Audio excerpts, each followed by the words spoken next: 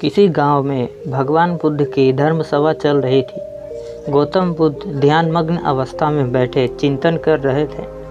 तभी बाहर खड़ा कोई व्यक्ति चिल्लाकर बोला, आज मुझे इस सभा में बैठने की अनुमति क्यों नहीं दी गई? शांत सभा में उसके क्रोधित शब्द गुंजामयान हो उठे, लेकिन बुद्ध ध्यान मग्न में ही रहे। उसने पुनः पहले से तेज आवाज़ में अपना प्रश्न दोहराया शिष्यों ने सभा की शांति को बनाए रखने के लिए भगवान बुद्ध से उसे अंदर आने की अनुमति देने के लिए कहा। बुद्ध ने कहा, वह अंदर बैठने योग्य नहीं है। वह अछूत है।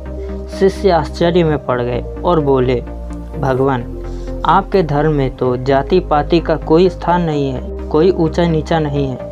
फिर यह अस्पृश्यता या अछूत कैसे है?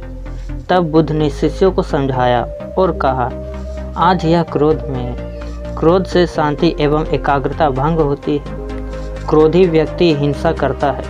अगर वह शारीरिक हिंसा से बच भी जाए तो वह मानसिक हिंसा अवश्य करता है। किसी भी कारण से क्रोध करने वाला मनुष्य अछूत है। उसे कुछ समय तक एकांत में रहकर पश्चाताप करना चाहिए। तभी उसे पता चलेगा कि अहिंसा महान कर्तव्य है, परम धर्म है। शिष्य समझ गए कि अस्पृश्यता क्या है और अछूत कौन है। तो ऐसा ही और स्टोरी सुनने के लिए हमारे वीडियो को लाइक कर चैनल को सब्सक्राइब ज़रूर करें।